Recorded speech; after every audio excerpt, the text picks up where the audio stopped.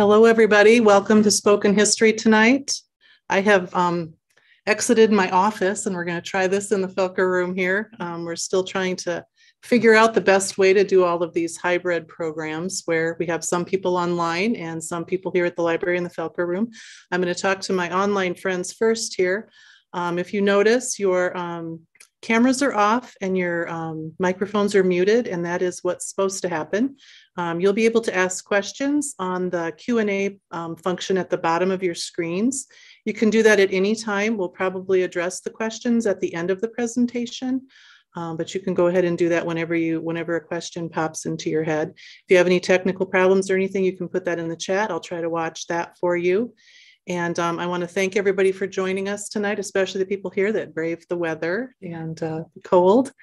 Um, we have wonderful speaker here tonight, um, Brad Casselberry. He is the head of archives at UW Stevens Point, and he's going to explain to you tonight um, what kind of treasures you can find in that archive there.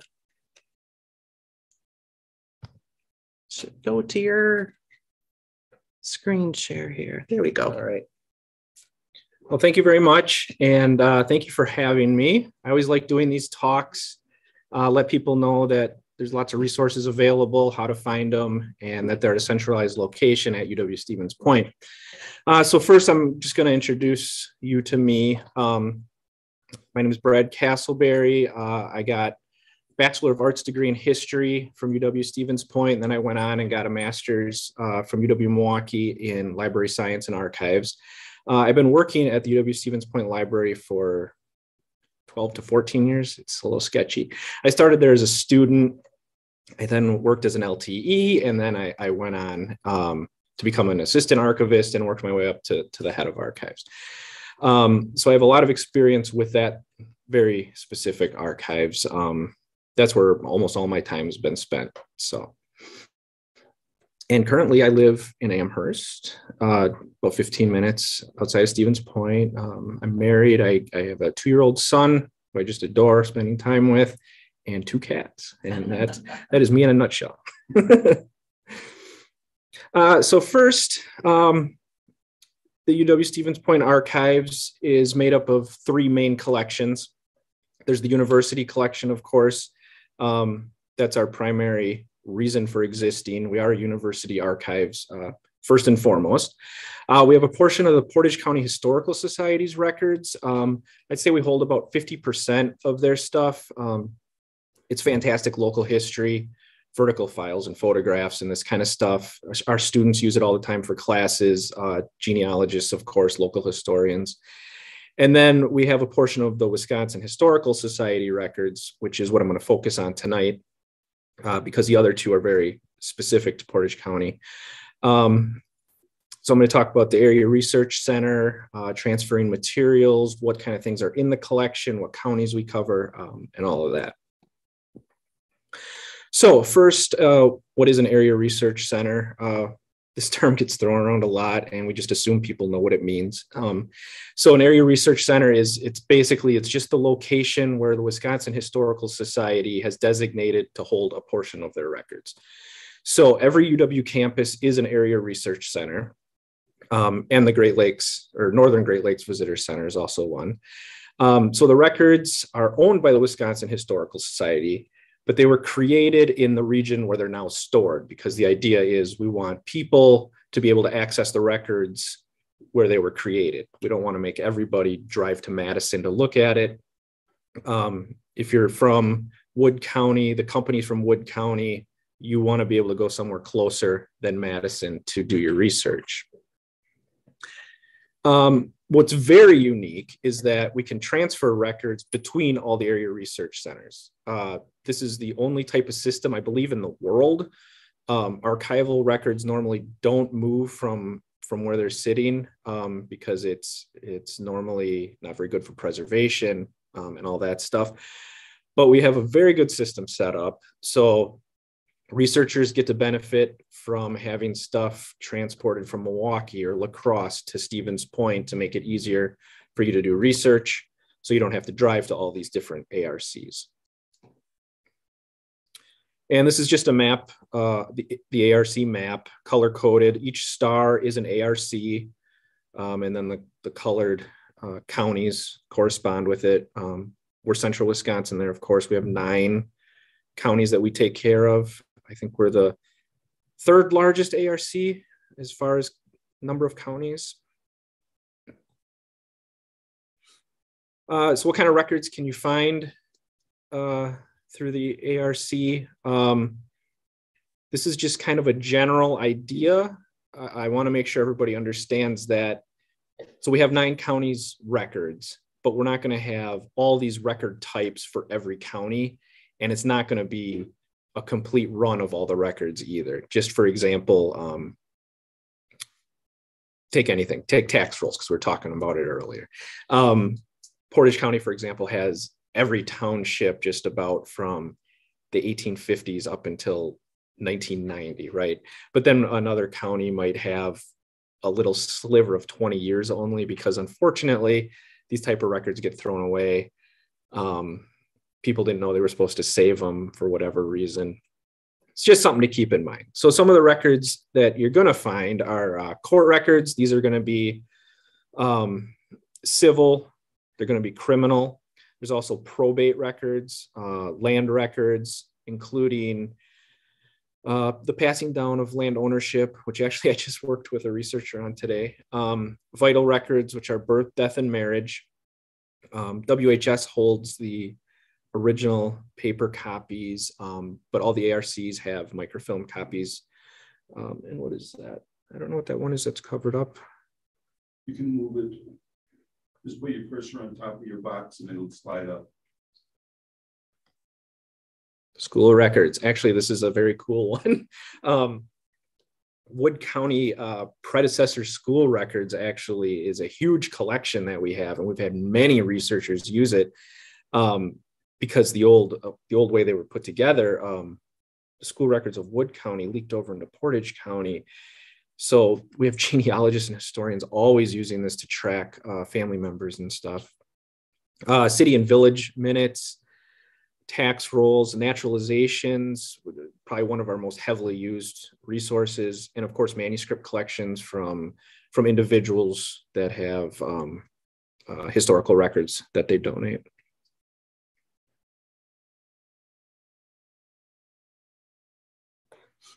So how do you access all these records? Um, there's a couple specific indexes that everybody should know about. Um, and then there's also kind of um, outlier indexes that local historical societies sometimes put together. Um, those I don't know as much about. I'm, I'm familiar with Portage County, as I've said. So I know the Stevens Point Area Genealogical Society had, they did um, volunteer work on our records and they index some of them and put them on their website. So there's there's outside places like that to look, of course. Um, but the Wisconsin Historical Society has um, their catalog for vital records on their website. Everybody should be familiar with that, and I do believe that's on the handout I gave you the link to that. Um, and then also the UW Madison Library Catalog. A lot of people think that's a little weird. Um, all the Wisconsin Historical Society records are on the Madison Library catalog. I don't really know why it's that way. I think they're connected in some way, they're working together, but everything's on there. Um, you just have to learn how to use it properly and efficiently to find what you're looking for. I'm going to talk about that more um, very soon. And then, of course, you can always fall back on asking an archivist. Um, we're more than happy to look through any index to find what you're looking for. Um, myself at, at at your ARC or any other archivist at any of the other ARCs are more than happy to help researchers. So the UW Madison Library Catalog, um, I want to introduce this to you. I don't know if anybody's used it to find records. Um, so this is what it looks like when you first get to the page. Um, you can just Google UW Madison Library Catalog. Um, and there's some tricks that I want you to know. Okay. Um, first, don't type anything into the, the main search bar because you're going to get 100,000 results and you're not going to want any of them. So first thing you do is click on the advanced search, which is located on the right side of the screen.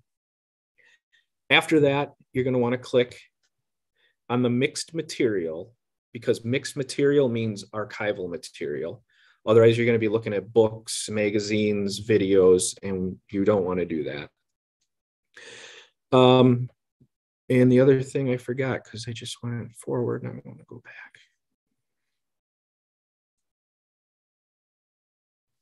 Oh, where to put the information, the data that you're searching for. Uh, the search term you want to put in the keyword search. You don't want to put it in the title. You don't want to put it in the authors. You want to do your searches as broad as possible. And when you search keywords, you're searching, you're searching the title, you're searching the authors, you're searching all the different topics that the librarians painfully put in there. So that's your best route um, to get the most results for your search. So I did a, a simple search. Uh, I just put in Marshfield and 60 results came back. At, that's actually that's actually pretty good results um, for a specific town and their records. So this is what the results page looks like. Um, you're going to want to click on the title of the record, and that's going to take you into the actual catalog record and give you more information. And this is what the catalog record looks like. It has title at the top. And most importantly, is about halfway down there, you see Stevens Point Area Research Center. So that's going to tell you the location of the records. Like I said, there's there's what is it, 13 area research centers. So that could say, I could say any one of those. It could say it's it's down at WHS in Madison. It could say it's at La Crosse. So you want to make sure you know where the collection is. And then this is, of course, going to give you uh, other relevant information like how large is the collection? Is this something that you want to actually trudge through? Um, and also, uh, sometimes it will have on the upper right, if it's a large collection, it'll have finding aids. Um, that'll either give folder lists, box lists, sometimes they give full name lists. I was just looking at a collection today of probate files I think for Waupaca County, it actually had every single person indexed in there as a massive file. So um, look out for, for finding aids that are attached to these records. So these are some of the Marshfield specific resources that I thought were interesting. I don't know if any of you have ever looked at this, uh, but court dockets, um, you can get a wealth of information out of that. Um, we go to the I'm sure you're mostly familiar with what dockets are. They're, they're summaries of cases. Um, this is what we go to if we don't have full case files, uh, but it gives you, you know, the plaintiff, defendant, what the crime was, um, what the results were, and it'll give you dates and stuff like that. Same thing with the justice court dockets. Uh, the Roddis family papers um, actually is a very popular collection. We actually transfer that one down to Madison quite a bit for researchers. Uh, and then another lumber company record. Um, we have a lot of students that do lumber research. So anytime we have uh, collections of lumber companies. And then one that I didn't know about, and I just found when I was doing this was the Greater Marshfield Community Health Plan records. I don't know if any of you are familiar with that. Maybe, maybe you are. But it was the first HMO either in Wisconsin or the country. Not, I don't remember. But I was like, wow, that's that's kind of cool. I had no idea that that happened right here. Now, this is just an example. Like I said uh, in the previous slide, there were 60 results. So, so definitely scroll through all your results to see, you know, if it's anything you're looking for. Uh, and then these are some Wood County resources I found. I mentioned the predecessor school records. Um, very large collection, very complete. Uh, it's excellent for genealogy and histories of schools. Uh, the Wood Teacher County or the Wood County Teachers College records uh, the criminal record, tax rolls, probate files, naturalization records, and vital records. These are all heavily used for genealogists and local historians. Um, so I wanted to make sure to highlight that Wood County specifically has these available at our ARC. And because of where you're located, I also included some of Marathon County's resources, um, naturalization records, tax rolls.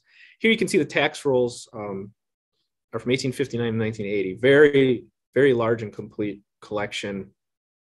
Um, case files and probate, but uh, Marathon County also has an extremely large uh, criminal and civil case file um, with the actual cases. It's a really great collection. So if you have family members that may have gotten in trouble in the past, um, from Marathon County, definitely, definitely contact us. And then, of course, vital records, the, the pre 1907 birth, death, and marriage, uh, which, as you know, um, people weren't required to file, I think, before September 1907. Um, so all those are held at the um, area research centers.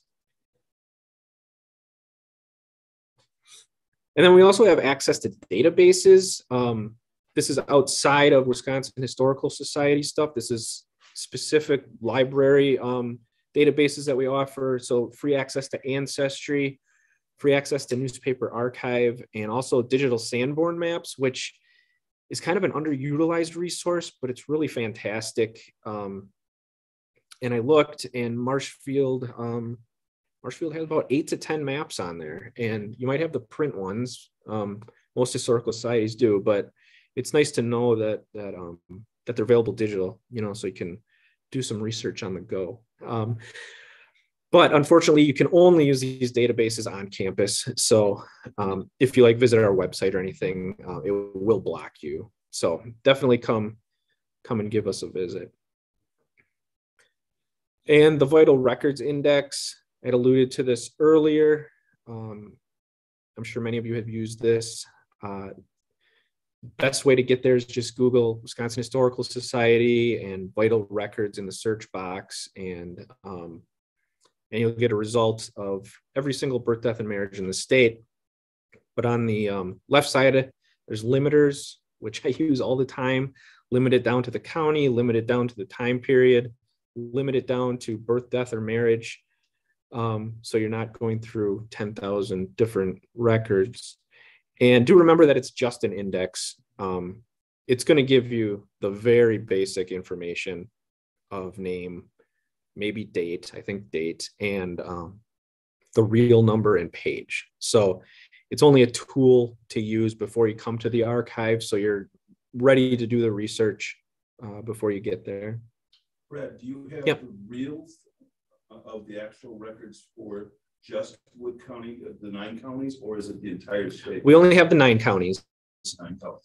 Um, but the other area research centers will transfer their counties uh, microfilm. So that's something to keep in mind. Um, as far as vital records and naturalizations, people are less um, less excited about transferring paper records, but if they are microfilmed, we can get those usually. So, uh, and then also I wanted to give a plug to our digital collections. Um, we're constantly updating what we have online. Um, that's obviously the way the world is moving. Um, so to get there, just Google UWSP Archives Digital Collections. Um, and I think I have a link for this too on the handout. And on the right side, you'll see a digital digital collections link. Um, and that's going to take you to Preservica, which is our um, our uh, electronic management system. And on the top there, you'll see the Area Research Center, and that's going to be um, all the Wisconsin Historical Society records that we've digitized. I'll be honest with you, there's not much on there right now, um, but we are constantly working on. It takes time, it takes money, it's it's egregious, but um, we're getting through it little by little. So check back there often. And I also wanted to tell you about the archives because um, we've had quite a couple years and we have quite a couple years to come. Um, we're no longer in Albertson Hall, which if any of you visit us before uh, is where the archives was. Uh, the building is now empty and it's scheduled to be torn down in the spring. So all of us had to leave. so we're in a temporary location. Uh, we're in the Trainer Natural Resources building, the CNR building which is actually just one building north of where the library was. So it's it's very close. Um, and we're on the first floor. We're in room 110. Um, I also have that on your handout if you want to come visit. Uh, but um, something important to keep in mind is we didn't have enough room for all of our collections in the natural resources building. So we have about half the stuff from the archives is nearby and accessible. So if you were to show up, we could actually help you that day. Um, and the other half is actually kept offsite in Plover, which is about a 15 minute drive one way. so we're asking everybody to make appointments before they come. Uh, it helps us get the materials ready, um, make sure everything's set so we're not wasting your time when you come in to do research. Um, so yeah, I just want to warn you that if you come in on a sneak attack, uh, we might not be able to help you. So just contact us ahead of time. Um, if you look on the, the back of the first page of the handout, uh, we are number nine of the ARCs. Um, it's got our phone number and email. So you can feel free to call or email to set an appointment or to ask us questions before you come in. Um, and that would be greatly appreciated. Oh, and um, the new building isn't set to open for three to five years. So this is going to be kind of a long-term temporary situation. And that was all I had. I breezed through and I talk fast, but if you have questions, I'm more than happy to answer them. Um, it's it's impossible to uh, give you a good complete idea of all the collections and everything that we have in the archives for Wood County, for example. That's why I can only give you kind of an overview and also show you how to do the search to find what you're looking for. Um, the UW Madison catalog is really key. Uh, I urge you to go there first. Um, you can type in specific names of people you're looking for, or if you want to do just general collections, general topics, I would start there as well and um, see what comes up. And if you're looking for Wood County, if you're looking for Marathon, you know, anything our ARC, um, it will be at, at Stevens Point most likely. So hopefully that helps. so if anybody has questions or specific questions about your research or collections you you're interested in, I'd be more than happy to, to try and help you. We have a two-part question. Okay. Um, this was fascinating, by the way. Um, and this is just kind of a strange thing. You might not know the answer to this, but are all archives the same according to like states? I mean, are they run pretty much the same? They have the same kind of information? Um, yes and no. Um, I'll say it is mostly the same type of information because it's it's government records, it's manuscript records, it's photographs. So at the basic level, yes. Um, of course, the information within the documents and everything is completely different, and every state's going to have different rules on what they keep, what they don't keep. For example, tax rolls we keep coming back to.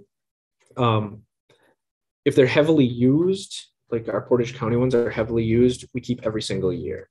But then other other counties, other states, what they'll do is just keep every fifth year or every tenth year because you have cost considerations for storage and dealing with this stuff. And if it's less used, you just want a sample of of the material. Um, and every state, to answer kind of your second part, every state, or was it your first part? I still have one. So that was okay. That's first part. every state is completely different. Um, Wisconsin is extremely um, progressive in how they do their archives. We were like one of the first states to establish a state archives. Um, they were they were very outgoing in in getting collections donated to the archives like very early on in the 1800s early 1900s that's why whs has um, fantastic collections from the people that got blacklisted uh, during um, communism in the 50s in, in uh, California. Like, who would think that would be in Wisconsin? But it's because they're very active. Um, and other other states are are I'm not gonna say lazier, but um, I don't know. Every state's different. Okay. You know, as far as how much energy they put into it, and and like I said, the transfer system itself is extremely unique. Um, nobody else does that. Okay. The second part to my question, and this is from my own research, Mhm. um, I had hired someone years ago to um, specifically look for court case records or probate records that I was looking for in um, Chicago because it was just so massive. I didn't really know where to hone in on that. And um, the information I got back because it was involving a court case of suspicious death of an ancestor of mine. And the records that I got back were all probate records. And I guess I thought Mm. that was all court stuff, but now I'm curious if there might be a whole nother file through the dockets. There might be. Okay. and Probate- Some of that, is that the difference where some of that docket information could get into the probate if it's, Absolutely. okay, Well, probate is a court record. So I'm not surprised that they would send you that if you asked for a court record. Um, but yeah, the docket is is like a summary. I kind of think of it as a cover page to a larger document. And it might give the volume number and page number or box number of where the, the full document is located. Um, and it also might be helpful um, going in for your research. Like you ask for court cases, which is a blanket. Give me it. We get that a lot. Give well, me and it. and this was like in eighteen ninety-one. Right. So I mean, And if you if you say, well, this was a, a crime, right? Suspicious death. well, it was supposedly a suicide, but he was shot twice in the head. That's it's not easy to do. With a Um, gun from that time period. yeah, so you could you could definitely narrow it down to criminal case files. Um, but yeah, there's dockets. There's also judges' minutes. Um, Okay. there's all kind. There's justice of the peace records. That's going to be more for um, uh, civil stuff. Um, yeah, there's all Well, the piece of information I've been hunting for, because they mentioned all this in the probate case and everything, that there was a suicide note oh, naming the guardian to the children and the guardian dumped him in an orphanage the second he got them and took all the money. So I am wanting to see the suicide note. Is that something that would have been kept in a yes, case? If they had that? maybe. Yeah, it would have to be like in the full file. Okay, the full court record. Um, I'm wondering if that wouldn't be restricted though, because a lot of times they put restrictions on anything having to do with children and placement in, in foster homes or adoption and that kind of stuff is really hard uh, to get get a hold of. Um, so it could be off to the side and restricted. I just So- know it's in a box somewhere, Yeah, you know, in some basement. and that's why when Some building. when you when you search the catalog record, this is actually an excellent point. Um, like I said, there's criminal and probate, but use the catch-all of court record. That, that's what I do whenever I start a search. I go in with just um, Wood County Court, and you're going to get everything, like all the judges' minutes, all the random stuff you don't want. Like they have lists of judges of Wood County over the past hundred years. Like, but you you know you can go through and and pick and choose what sounds best. But yours is a different animal because it's Chicago It and is, yeah. And the probate records that I got actually were, the last name that I was looking for was Eggers, E G G mm-hmm. E R Z. And she found some like, it, it was hardly even most of the letters in that name. Oh, And it still was that case.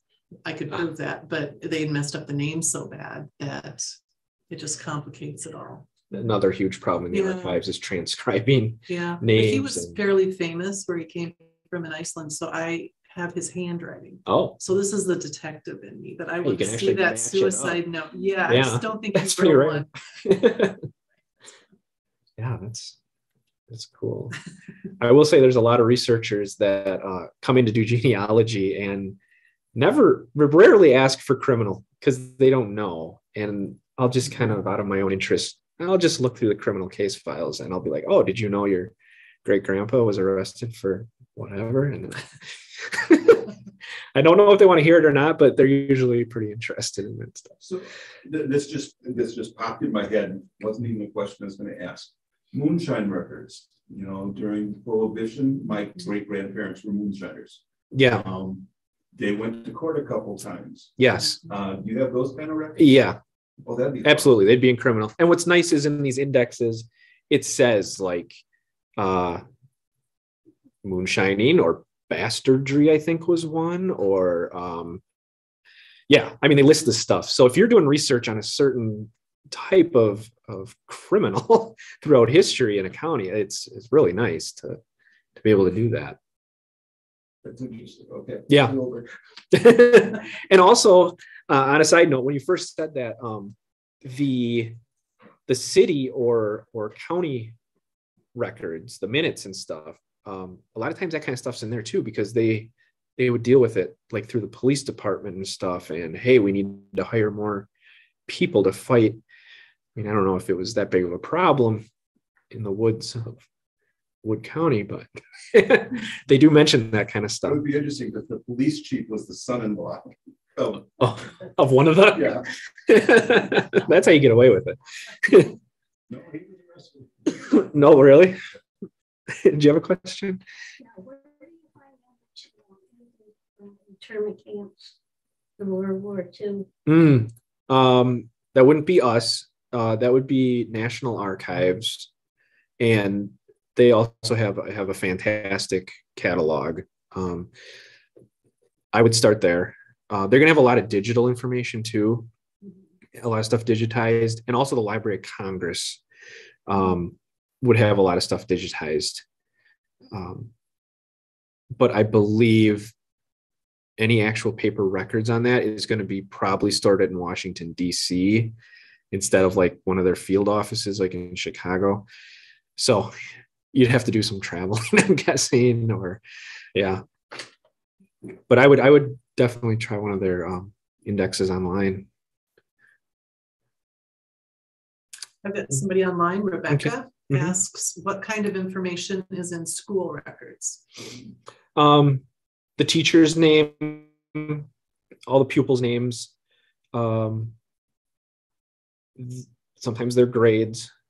You're going to get the teacher's teaching certificate, which is interesting. Um, and then, of course, uh, the school they're in, which is is actually can be very helpful because they all had um, they all had numbers, right? Like district five or whatever but then they also have the nickname that goes along with it so we'll get researchers that ask i'm looking for garfield school and we're like, "I don't know what that. Like, where is that? So yeah that kind of information can be helpful um, when doing the detective work.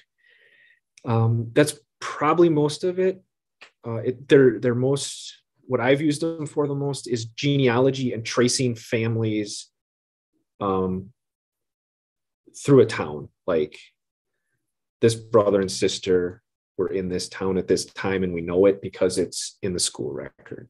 So Are usually there a photo with that too? or No, just- no. okay. yeah it's just um information Do they have attendance?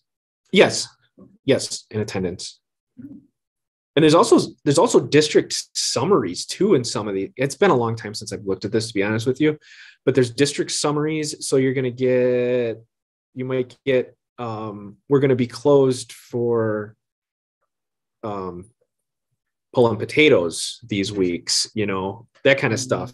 Like i don't know what they call them farm holidays or something um or harvest holidays.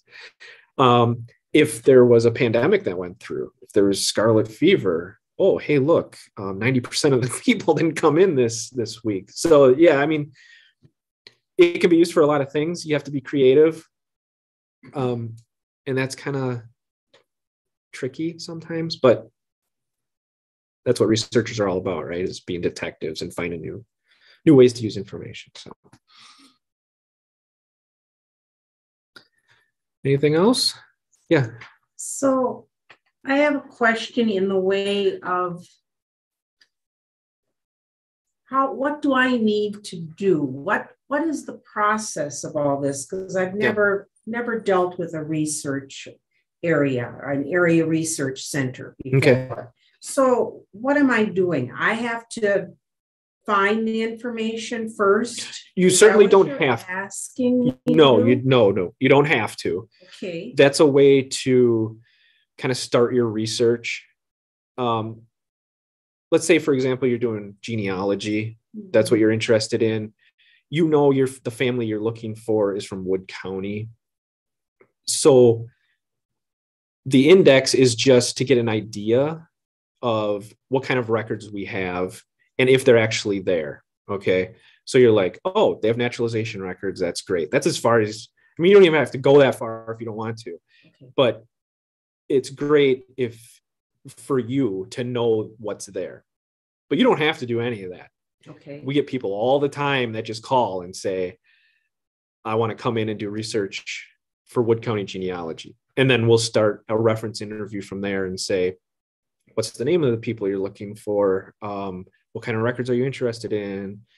We might ask if you've already done some research because a lot of people have already done ancestry uh, or family search before they come in and find out what you've already found. So having the the links to the indexes in that is really just to save you time because you could come in and say um, i want to look at volume volume three of certification certificates of naturalization but you don't have to do that at all. Okay. no yeah. Um, if you if you want stuff transferred because you find it in the in the in the catalog you can you can just call us and because we have to we have to still ask for it. So you still have to work with us um, to get it there and we'll take care of all that for you. You don't have to worry about that.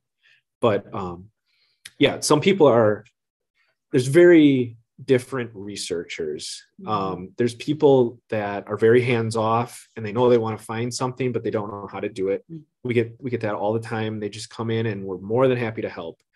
Um, but then there's people that that kind of want to take it on their own and do their own research and dig in. And these are just tips if if people want to do that on their own but you certainly don't have to So if I say, for instance, I am interested in naturalization. Mhm. And I say, well, I don't, I know this relative and they were born and they died and they, I don't know when they came to America. that's fine Uh, I can't find anything in the indexes, for instance, you know, I Right. can't, for some reason, can't figure that out. You would help me and say, Yeah. I, I believe I have some information on this person. Yeah. And then I would come down there to you and look what you have found. Yes.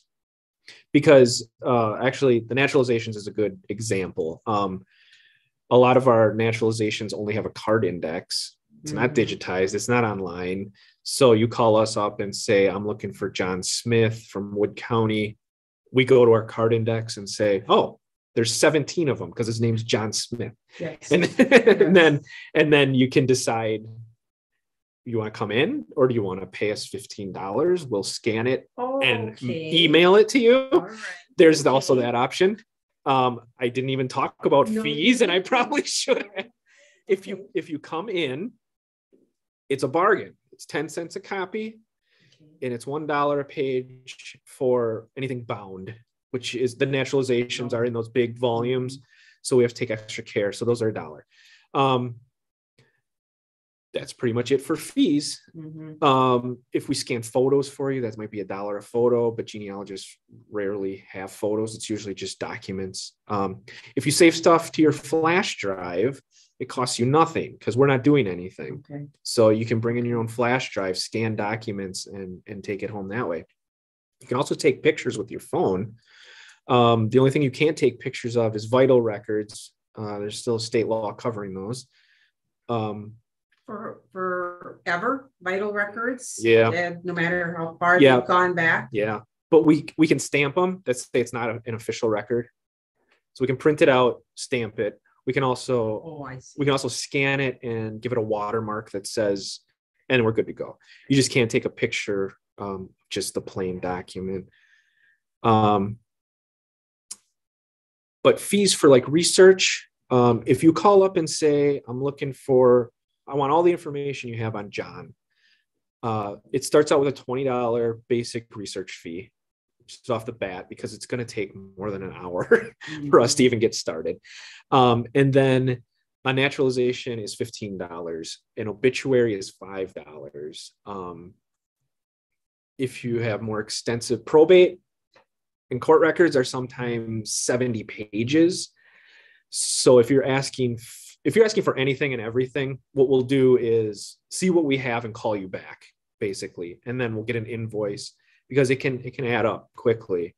Um, because if you have a 70 page probate, it's 10 cents a page, $20 for the research. Um, so we do itemize an invoice. We're not ripping anybody off. But yeah, you can do everything over the phone and through email if you want, and just send us a check. You can come in and do the research if you want to look at old dusty books. Either way, we're more than happy. It's usually a good deal. Some of that information you get is pretty priceless. Yeah, uh, right now we have a woman from Arizona, I think, doing research, and we found so much stuff today. It was just, it was a really, really good. She found stuff that in all types of records that she wasn't expecting. And a lot of it was in the court records, actually. So you never know what you're going to find and where you're going to find it. Yeah. If I'm looking for something from, from Clark County, Mhm. would I be better off to go directly to the courthouse in Clark County or come to you? Uh, Clark County is not us. Oh, Yeah. That's not clear. Yeah, that's Eau Claire. So oh, okay. you could either call Eau Claire. Um, I don't want to be mean to courthouses, but a lot of times they're not extremely keen on helping genealogists. So I would say contact the archivist first at Eau Claire, and they can find out if they have the records or not. Um, and like if you're looking for old court records and and the ARC doesn't have it or they're not sitting in Madison, um, I don't see the Eau Claire. um, that is Greg, number 10. Yep. And he's a great guy. He'd be more than happy to help you. So,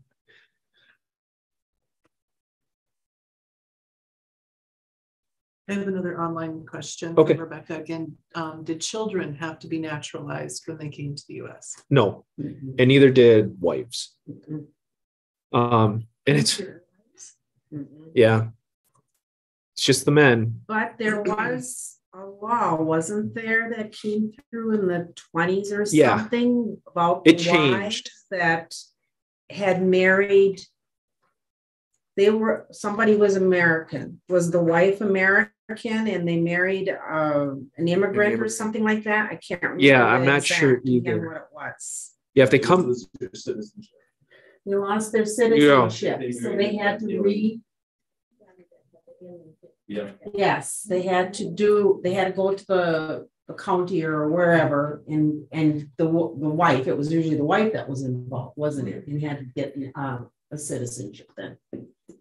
yeah, and talking about differences of information on on records, sometimes these naturalization forms will give the name and birth date of every single child that came over on the ship, and then sometimes you get an X that says, "Yeah, I I agree to be a U.S. citizen," and they're most useless and One of frustrating. the Best things at the regional archives are the naturalization records.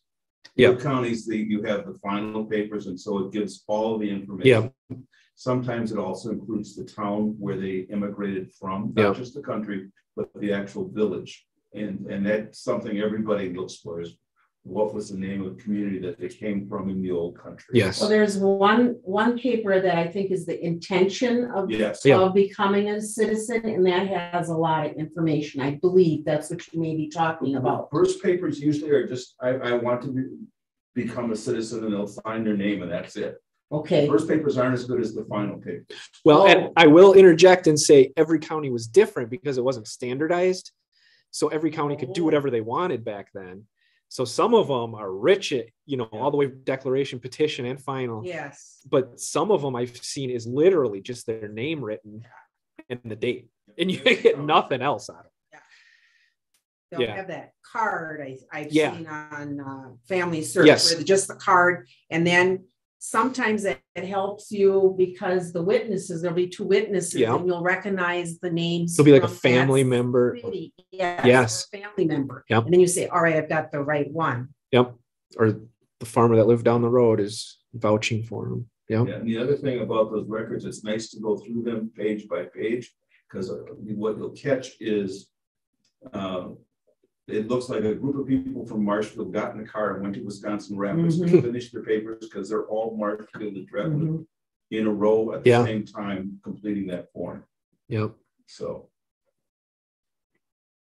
Back, I want to just ask one question on these yet. There's a state law that says that tax records and municipal records are supposed to be offered to the State Historical Society before they're tossed. Right. Okay.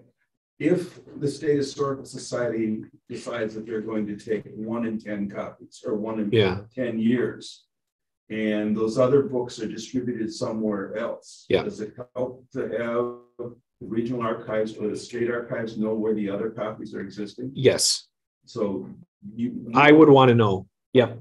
So if you, if we would prepare a list or an inventory of what we have, that would help you for our Absolutely. counties. Yep.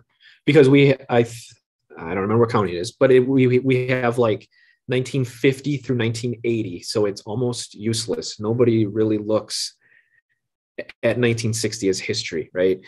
So if I knew that 1860 through 1950 were somewhere else, I know researchers would want to be directed Here. into that. Yes, absolutely. So, yeah, keep us in mind for all that stuff.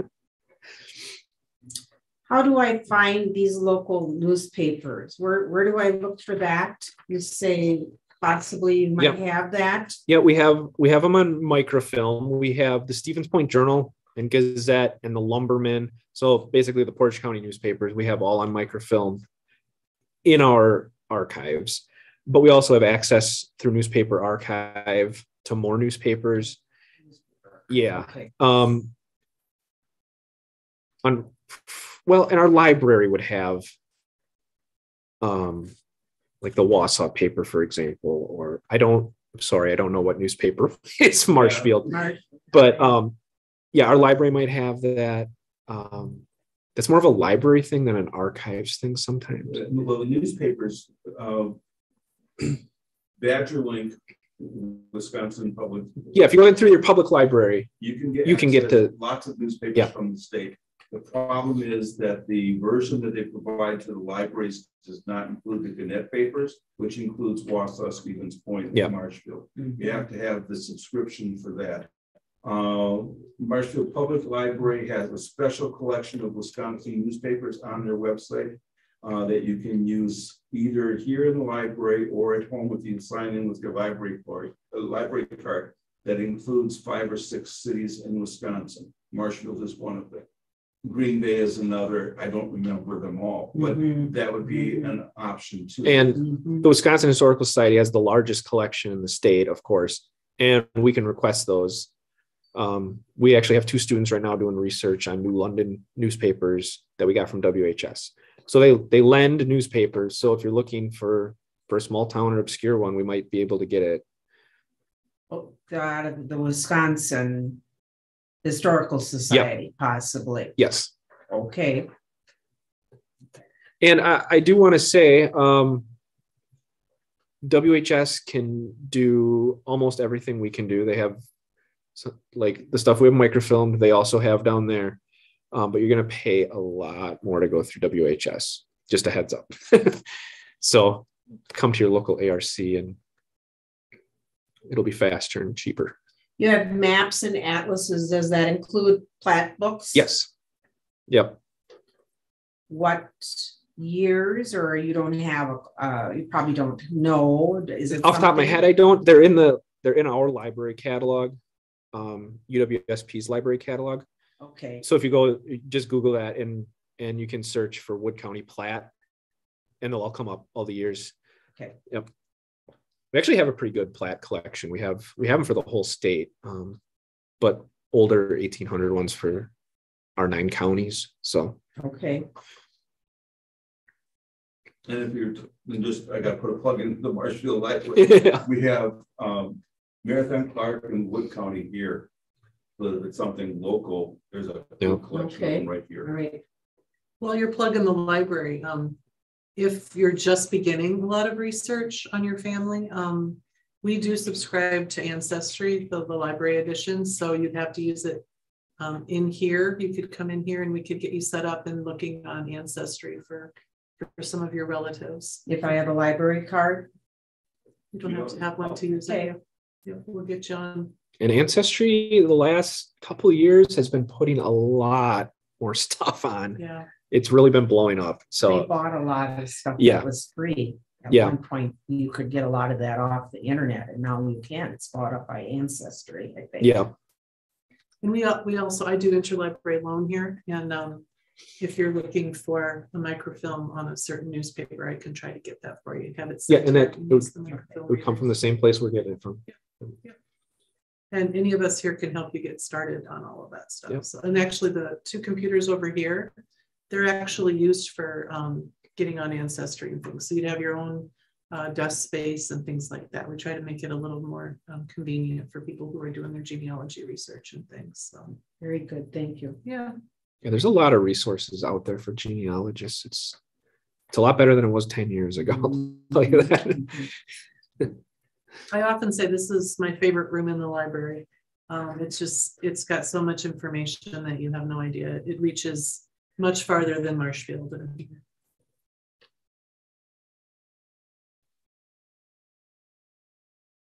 Anything else? I'm gonna put one more plug in for Brad. I've gone over to see Brad lots of times. He is always very helpful, no matter what question you have. You pull up his computer and see the record we have and Yep. go get it for you. So Um, I've been called tenacious, so I keep going until I find something for you. So So I have a question um, that possibly, I don't know, it would be more of a church record of some sort, possibly. Mhm. Where you know there's an ancestor, but you have no idea where they were buried. Um, of course, there's find a grave, Right. which I use a lot. So I'm get, and then people say they can't find the records or what is, I suppose maybe the church burned down, took the records with it. I don't, how else can you find these people?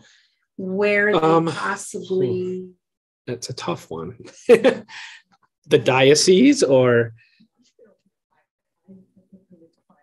Something, because my father was married first time and, and his wife didn't have any children, but I was from the second marriage, and I went to the, to the, uh, because the library, what is it, man, Sexton? I oh yeah, yeah. Sexton at the cemetery, and he found me, Yeah, those those people do really good work. Yeah. yes. if you if you know it's an operational um place with a an active but there's a lot of cemeteries that are left in disrepair and you know overgrown i will say unfortunately that we come we find a lot of dead ends in our research too um it's unavoidable the records just don't exist um I've spent days and days just looking for like one birth date and it it's just not there. Um, so that's something you got to expect. It's frustrating because you feel like there's got to be a record somewhere, but um, it's something you run into, unfortunately. I would say to keep trying to, because like ten years down the road. Yes. It could be digitized somewhere. Right. Don't forget it. Um, Or if someone else dies that's in the obituary. Yep. Talks about the family plots, you know, things like that. or like I was talking about finding stuff in weird collections that you wouldn't have thought of. Um, all of a sudden, you could come across and say, "Oh, maybe that's you know a place to look I didn't think of." So well, there was an incident where there was a family member that I could not, I just couldn't find. mhm. And on Find a Grave, someone gave me the clue that at one point they had a s- SKI on the end of their name. yeah, name changes is a big problem. And they took the SKI off and then changed a few letters to make it a different. Then I could find Yep. something. It was, yes, of course, then it's eureka, you know, type moment. but- yeah, and and I come across a lot of transcription errors. Um, No, yeah. I mean, that penmanship is just awful. No matter how much I work with it, I it's I still pull out my hair. It's And be sure to like name all of your kids, their parents and grandfathers. Oh, yeah. First names. Everybody's you Johann, Fred, yeah. Fred, Fred, four generations, and then you'll be able to find them all. so. Yeah. What is, what the most interesting person you hunted down or found or in the most unusual circumstances? Wow. I've never thought of that. That's a good question. I don't have um I'll tell you that an artifact um that I stumbled across was Vicksburg newspaper during the Civil War. I don't I'm, not, I'm not a historian, so I'll get this wrong, but there's a siege in Vicksburg. They couldn't print the newspaper the North took over and printed it on the back of wallpaper. I've we have one of those original newspapers in the archives, and we spent months verifying that it was original because it was also put out as a promotional nationalism piece, you know, later on. But we have an, an authentic original, and there's only like six or seven, I think, identified. And yeah, that's exciting to have stuff like that.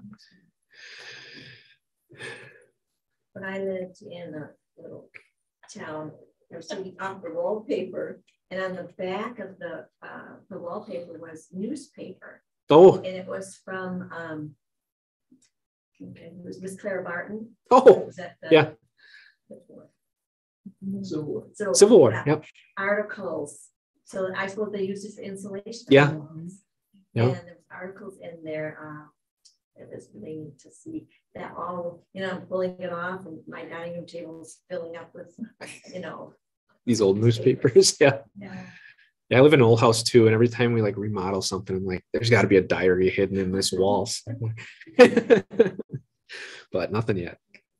No money either. No money. No money. no gold coins. I Yeah, say, yeah. you gotta- you gotta give Bones. yourself that full- there's good and there's bad, that's for sure.